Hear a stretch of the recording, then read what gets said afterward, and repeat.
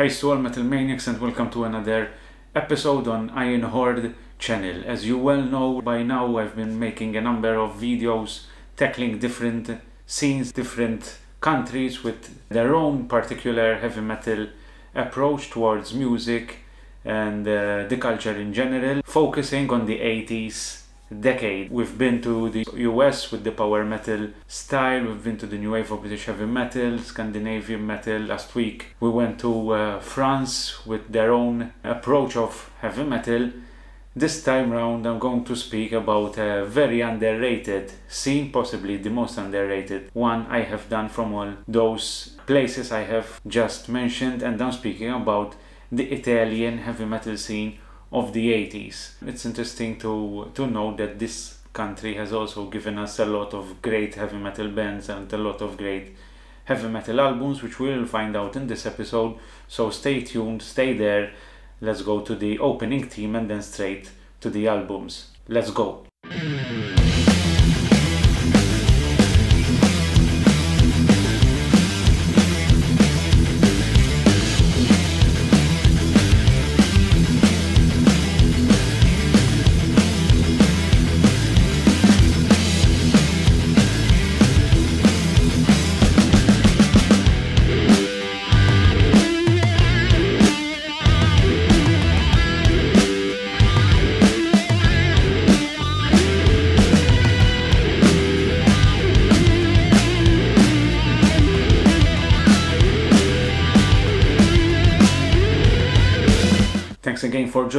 For another episode here on Iron Horde TV. Our job is to review albums, suggest bands, review festivals, talk about anything from the cultural aspect regarding heavy metal. So if these are subjects which interest you, please consider subscribing, liking and sharing this video on social media. It will help us out to reach more metalheads. So as I said, another episode from the Essential Albums series and uh, as I said and as obviously you have read from the title of this video we're going to go to Italy find out 10 of the essential albums from the 80s heavy metal scene from Italy. Let me tell you that most of the times I think that there is a huge underestimation of the contribution of these bands both nationally with regards to Italy but also in European metal and also worldwide metal because nowadays metal can be reached by everyone uh, in a few clicks and therefore the influence these bands have had and still have is priceless as far as I'm concerned. And I pass a lot of great moments listening to these albums and uh, they never get old for me. I actually think that the uh, Mediterranean area with regards to metals is generally underrated as a whole. People think because it's a band from Sweden or from Norway or from Germany, uh, they kind of immediately think they are good. But if a band is from Spain or from Greece or from Italy or from Malta, they kind of have to work more to convince the listener and that's kind of the idea I get in throughout these years visiting festivals abroad even booking bands in Malta let's go back to the albums reputation is one thing reality is another as we will see from the albums on this list. Interesting to mention that, contrary to the French heavy metal scene, the albums on this list, the lyrics are all written in English, and there are uh, no albums with Italian lyrics, although some of these bands have released, most of them prior to releasing the albums I'm going to mention, tracks in Italian. Again, I confirm what I said last week that as far as I'm concerned, a band, if possible, needs to sing in, in their native language because their emotions and their passion comes out much clearer rather than singing in a, in a foreign language. But anyway, most of the times to reach a wider audience, you need to generally use the English language, but for me personally, the native language adds more charm to the music, more identity, and more personality. Not only that, some of the bands here have been marketed as being American even though they were Italian. There was a habit in Italy, I, am not sure if it happened as well. In other countries, in Europe especially, or maybe South America or Asian countries, I don't know. But in Italy, there were certain products marketed as American so that the Italians would buy them more because obviously coming from the US it has to be a better product or a better movie or a be- better band in this case. A good example of this is uh, two of my childhood heroes, actors Bud Spencer and Terence Hill, being marketed as being American. Their names were changed obviously, Bud Spencer and Terence Hill, which as most of you will surely know are in their birth names, um, but even the director, even the setting of the movies, or everything gives off an American feel. I remember getting to know that Bud Spencer and Terence Hill weren't actually American, possibly 11, 12, 13 years old, something like that. But anyway, this shows a different approach to the way bands were being marketed at the time. A small parenthesis before going ahead with the albums, I didn't include in this list any 80s doom metal bands. As most of you know, I'm a big doom metal fan, and Italy has a very peculiar and authentic doom metal scene, especially from the 80s, carrying on to the 90s with a particular sound and they will be doing a separate video for that because I don't want to leave any albums out of this list. Obviously if I mix doom metal and heavy metal together, a lot of albums will have to stay out of this list because it's already 10 albums, a lot to say about them, let alone increasing that number. So stay tuned for that video that I will do very soon. So no doom metal albums in this list. So the first album is uh, from 1981 and it's a self-titled album by the band Strike. It was released by uh, Schizo Records or Schizo Records, I'm not sure if the pronunciation is right, and this is actually the band that was marketed, as I said before, as being American, although in reality, out of the four members, two at a particular period of time, obviously when this album was recorded, two of them were actually American themselves. But the main songwriters behind the band were Italian. Influences on this album are definitely the new wave of British heavy metal, like most of the albums in this list. You will hear me repeating myself on this aspect almost throughout every album we have on here. But this album leans more towards the hard rock, the ACDC style, Krokus, 70s riot. That is the kind of atmosphere the kind of approach we have over here. The production is not that good but as it happens in most of the cases again on the on albums on this list that 80s kind of uh, budget production kind of gives uh, a charm of its own. So it's not really damaging the album. It could have been better, definitely, but it still gives a certain charm and identity to the album. Continuing from the video from last week, from the French metal scene, there is uh, one track on here uh, which is titled I Want to Rock, and the initial riff sounds very similar to uh, one of the riffs at the beginning of the Sortilege track titled Chasse le Dragon, or vice versa actually, because uh, this album was released in 91, whereas that album from which that track is taken was released in 1986, if I remember correctly. But anyway, these are influences which, considering that France and Italy are close to each other and the kind of music that was around during the early 80s, certain influences, of course, are similar to the bands, and certain riffs being written might have been influenced by the same bands or might be also a coincidence. We'll never know.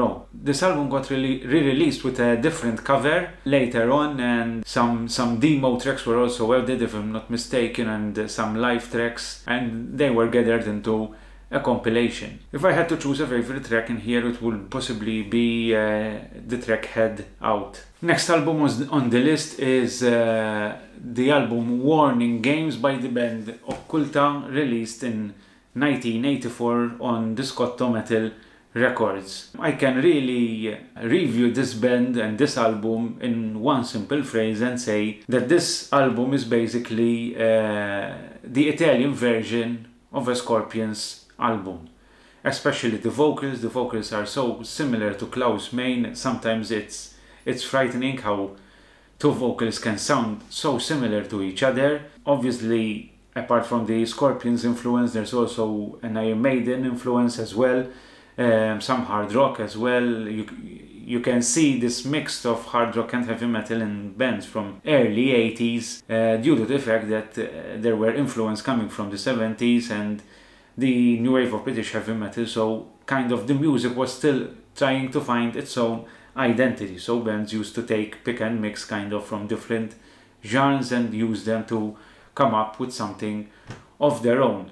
This album is truly a hidden gem. I remember the first time I heard it, I uh, made the pact that I wanted to find this album and buy it as soon as possible and I was searching around a bit and uh, if I remember correctly I got this album from a festival I attended abroad. I was searching the crates as many vinyl enthusiasts do and as soon as I saw this album I immediately uh, took it out. I was very sure that I was going to buy it because this is such a hidden gem of an album. It's so good. This is one of those albums that should be in any self-respecting metalhead's collection. Favorite track on here is the uh, title track, which is Warning Games, which it probably is the track on which the vocalist over here resembles mostly Klaus Meine. I didn't choose it as a favorite track for that reason, but because it's the best track on, on here. But when you go and hear this track, uh, as most of you will surely do, you can understand the similarity between both vocalists. So as you can see uh,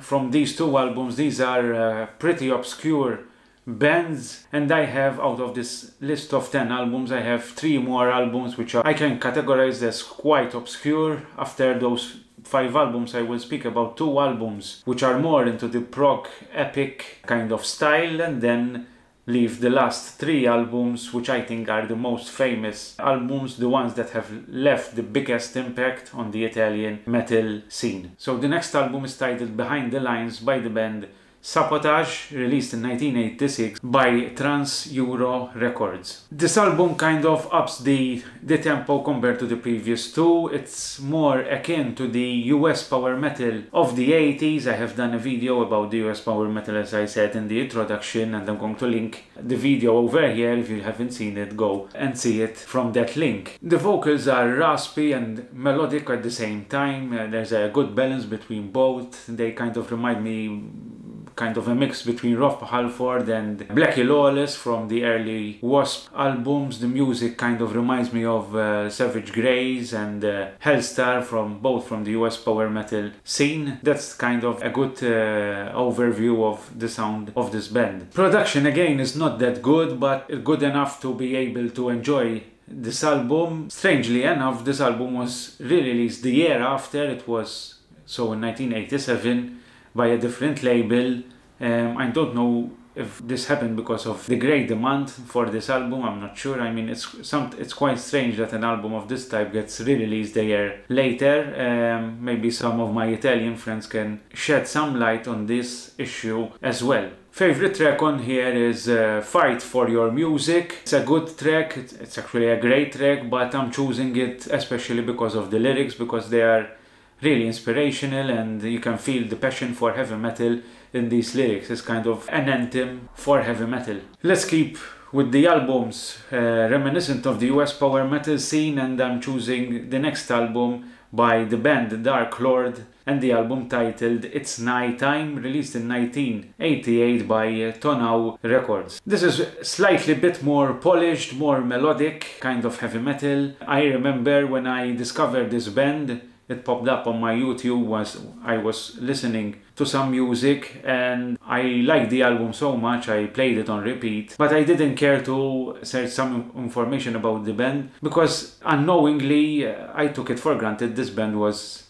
an 80s American band. But then when I uh, started searching about the band I remember being somewhat shocked that they were actually from Italy because even the singing and uh, there's the accent of the singer sometimes with these kinds of bands. There is a heavy accent due to the language not being their mother tongue. But this band's music and uh, all around package is so American I mean it reminds me of uh, early Motley Crue albums, Van Halen, Dio's uh, solo albums. There's a raspy edge on the vocals, although them being generally clean. I mean, was a total surprise for me. Sometimes I forget about this album, but uh, again, it happens many times for me. Sometimes it pops in my mind and I have to go and listen to it as soon as possible. If this album would have had a proper distributor behind it and marketed properly, I have no doubt that it would have been a hit in the US market. The tracks are not that long, are quite short, radio friendly.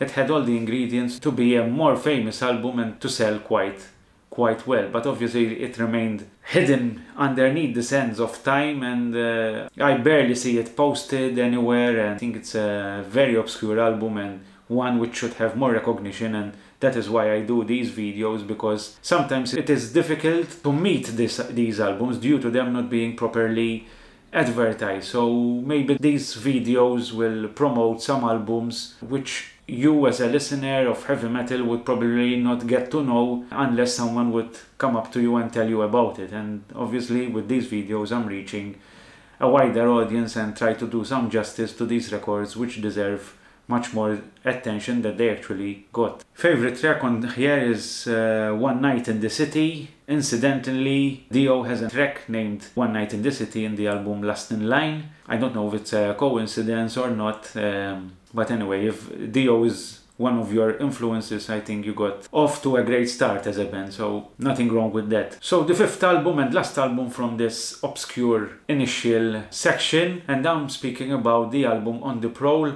by uh, Crying Steel, released in 1987 by LM Records. Again, another album uh, which takes influence from the US power metal scene. Great melodies, catchy choruses, high-pitched vocals. There's a particular track standalone where the vocals on this album, they are so high-pitched that kind of remind me of Midnight from Crimson Glory. As I said, most of the tracks on here have an up-tempo kind of feel, um, apart from a couple of tracks which are a bit slower. There's a use of synth throughout these tracks, although uh, funnily enough, no one is credited on the album as playing the synths, the synthesizer or the keyboards. Surprisingly enough, on this album, the production is quite good and it helps to accentuate those melodic parts which are uh, prevalent in this album. Some parts actually reminds me of uh, Whitesnake, so fans of that band, they do well to check this band out. Uh, influence are also similar to the previous bands bands I mentioned from the bands which were influenced by the US power metal scenes. But in the end, I, I remind you that uh, to get the best feel out of these records is to listen to them. I mean, no words can do them justice. Each one of them has its own identity, although most of the influences are the same. So take the time to search for these albums and uh, making up your own mind about them and which one you prefer and which one you don't. Obviously, I would be happy if you write in the comments which of these bands you have discovered through these videos because as I said that is the aim of this channel. Favorite track on this album is uh, Thunder Gods but please check out the lyrics on the track Fly Away because they are quite hilarious and one who's who uh, knows a bit of the Italian culture I think will understand them better but really check them out because they are interesting. Now on to two uh, epic power progressive albums that I mentioned that, that I have decided to add to this list. Two magnificent albums, not easy to review because they have different influence. Almost a track leans towards particular influences whilst another goes totally the another way. Well, not really totally because we're speaking about heavy metal over here, but you get the idea. The, some of it is epic, some of it is prog, power. The first album on this list is Irae Melanox by the band Adramelch, released in 1988 by Metal Master Records. This band is like a mix of uh, Fates Warning, Warlord, with hints of kind of technical thrash in certain parts. I'm thinking about bands like, uh, for example, Watchtower. That's kind of the uh, vibe I get. There's a, a big feel on the power aspect on the music here with creating a lot of atmosphere, even epic at times. This is one of those albums which is not easy to get into. I mean, uh, the vocals are a bit strange, but it's often happens in this situation, the vocals become part and parcel of the music you're listening. So once you get into the music, once it clicks with you, because these are kind of a peculiar uh, kind of sounding bands, uh, but once it clicks with you, I mean, the vocals become such an added bonus to the music. This is the kind of music that once you understand it, it really gives you that uh, kind of satisfaction that you have discovered such type of album. Whereas the others are kind of classic heavy metal, you listen to them, say, yeah, this is good. But these albums, they, there's like an added satisfaction to it.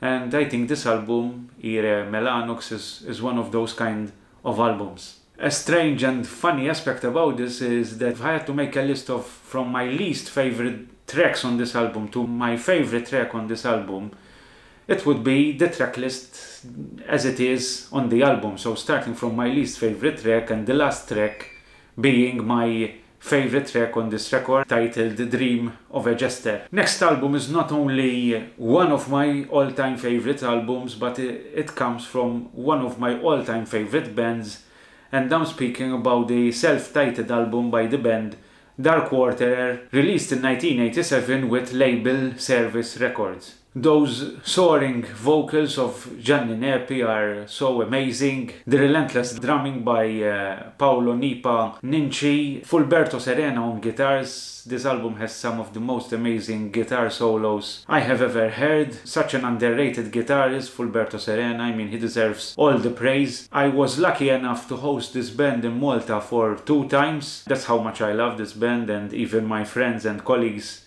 in the Malta Doom Metal Fest are avid fans as well of these bands. Apart from that, they are great people. I can safely regard them as friends of mine. I have met them numerous times, even abroad. They are great people, apart from being great musicians. So be sure to check everything from Dark Quarterer. My favorite album is this one right here, but everything they have done is just amazing. They have released an album last year, which is one of my favorite albums from the 2020. I have done a video on my top 2020 albums, which I'm linking as well up here. Go and see it and their last album Pompeii is surely another magnificent piece of work. As I said all tracks are amazing but if I had to choose a favorite track it would be Gates of Hell.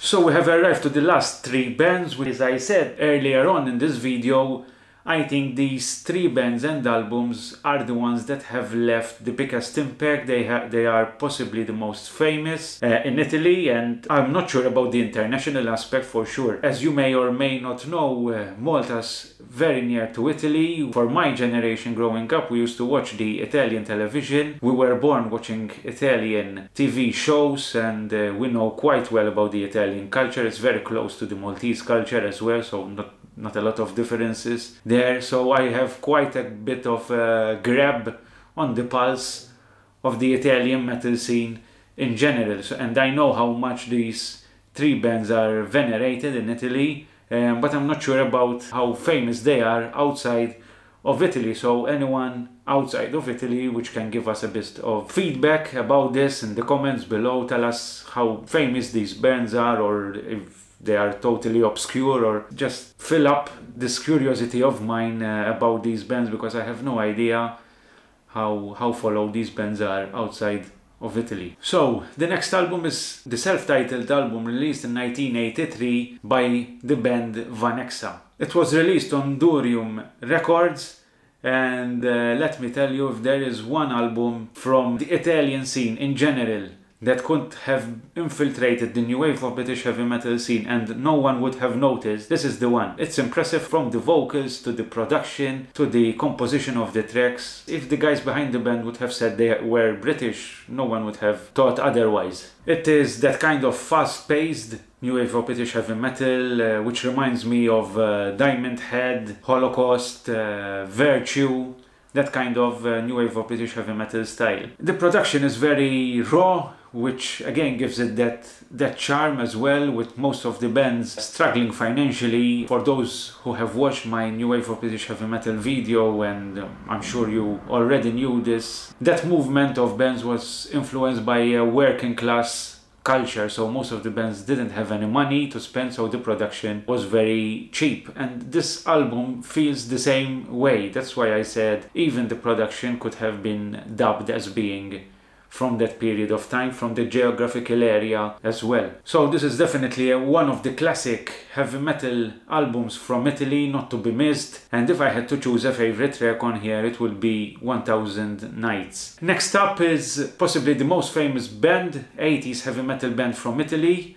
And I'm speaking about Vanadium with their album Race with the Devil released in 1983, also with Durium Records. The band is fronted by uh, one of the icons of Italy's heavy metal scene, Pino Scotto, although he left the band in uh, 1990, only to return in 1995 for only a year, releasing an album. Pino Scotto remained very active in the Italian heavy metal scene and recently, well, recently, but I think post 2000, he was presenting a TV show on Rock TV, which is an Italian network channel. Vanadium plays a mix of hard rock and heavy metal, uh, similar to previous bands, as I have already mentioned. Influences here, for sure, Saxon, Deep Purple, and uh, I think the hard rock part is more into ACDC at times. So those are the three bands which uh, come to mind when I hear the tracks from this record.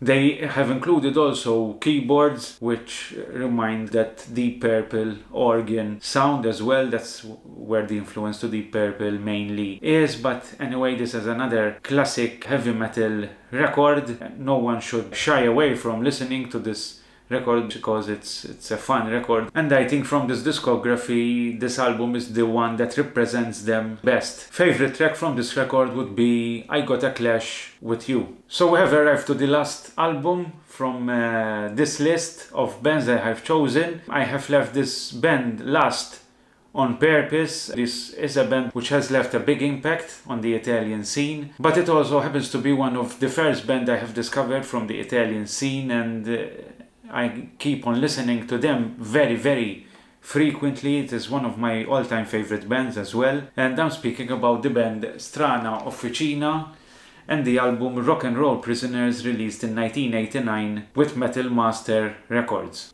Although released in 1989, this is their first full length album. They have a number of demos and the piece before releasing this but Strana Officina is regarded as one of the first heavy metal bands from the Italian scene, being established as a band in 1977. We have a lot of Iron Maiden influences with uh, Strana Officina, uh, obviously new wave of British heavy metal that should be taken for granted at this stage. I mean, you have, I think I have included them as an influence in almost all the albums. The greatness of Strana Officina, as I said earlier, is when they sing in Italian. This album is in English, and uh, an interesting fact is all of the albums I have mentioned over here are in English, but their Italian tracks are so emotional, so much more magical. Um, just listen to tracks like Guerra Triste or uh, Autostrada dei Sogni or uh, Piccolo Uccello Bianco. The lyrics are so good. Guitarist Fabio Cappanera is a magician with the guitar, one of the best guitarists from Italy, I, as far as I'm concerned, along with Fulberto Serena from Dark Quarterer, which I have mentioned earlier. This is the only album which they have included keyboards on. Really adds uh, an interesting touch to the music. As I said, the band is made up of the Cappanera brothers, Fabio and Roberto on drums, and uh, Enzo Mascolo on bass, and uh, Bud Ancelotti on vocals, who is another very identifiable metal vocalist in the Italian scene, is another icon for all the metalheads from Italy. Unfortunately, in 1993, the Cappanera brothers lost their life in a road accident. At that point in time, uh, the band didn't continue, of course, um, but then in 2006, the son of Roberto Cappanera and uh, the nephew of both brothers took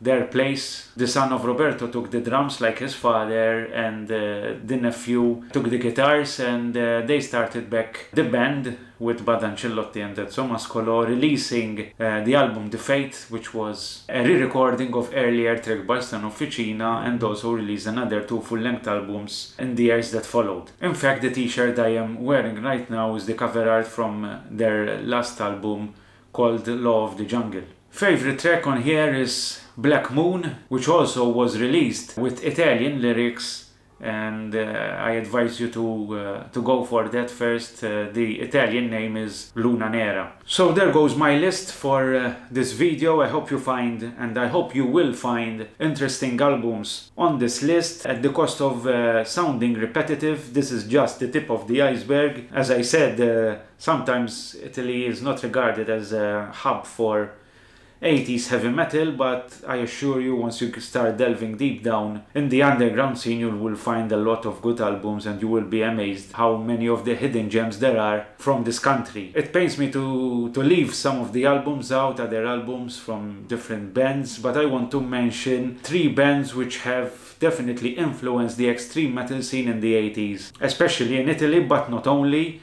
And I'm speaking about uh, Necrodeath with the album Into the Macabre, the band Bulldozer with the album A Day of Wrath, and uh, Mainframe Collapse by the band Schizo. These three bands also you should listen to if you're into uh, thrash metal, extreme metal in general, in fact.